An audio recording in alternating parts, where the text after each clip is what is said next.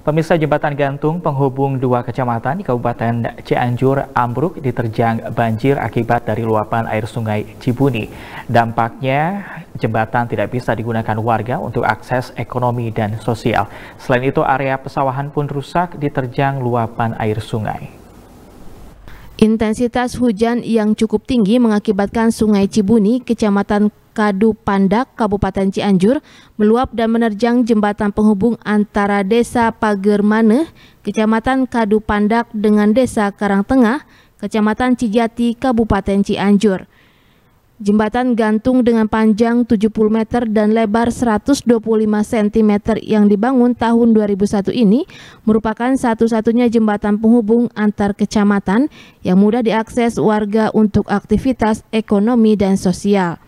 Namun saat ini jembatan yang nyaris ambruk dan tidak diperbolehkan digunakan untuk aktivitas warga. Untuk sementara warga harus berputar dengan jarak tempuh 5 hingga 6 km menuju Kecamatan Cijati. Kejadiannya kemarin jam 4 sore Pak. Jadi ketika hujan besar, debit air naik, akhirnya air naik sampai di jembatan.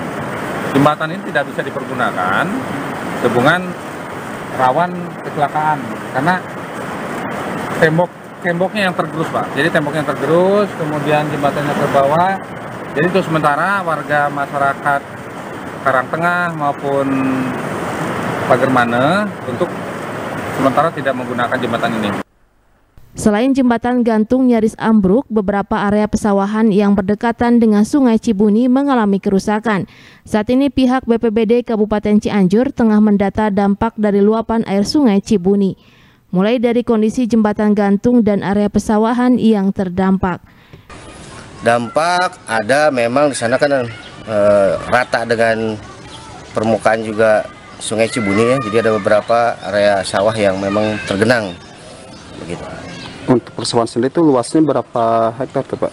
Nah untuk luasan dan keadaan yang sebenarnya baru hari ini kita akan turunkan tim juga dengan PUTR sebagai dinas teknis untuk menghitung. Nanti untuk masalah pertanian kita akan lapor juga pertanian, Menteri Pertanian juga akan menghitung kerugian uh, area pesawahan yang tergenang oleh luapan air tersebut. Nah himbauan untuk masyarakat seperti apa nih Pak? Ya untuk himbauan kita sudah ada eh, SK kesiapan hidrometeorologi ya, dari Bupati edaran sudah kita sebarkan ke kecamatan-kecamatan dan kita akan sampai ke desa bahwa masyarakat harus betul-betul siaga ya menghadapi cuaca yang berubah-ubah yang sangat ekstrim juga ya. Alhamdulillah kita menyiapsiagakan juga area teman-teman kita di lapangan dan informasi itu segera kita terima tetapi untuk laporan karena memang kita perlu melakukan asesmen kajian ya dengan dinas teknis. Jadi uh, secara detail nanti kita akan bisa Heri Setiawan Bandung TV